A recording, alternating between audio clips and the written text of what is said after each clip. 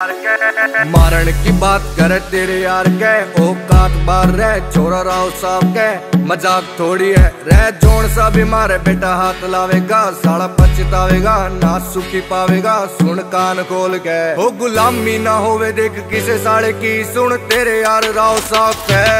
ओ तेरे शहर में है रुका बाजे राव साहब का छोरी बेहिसाब का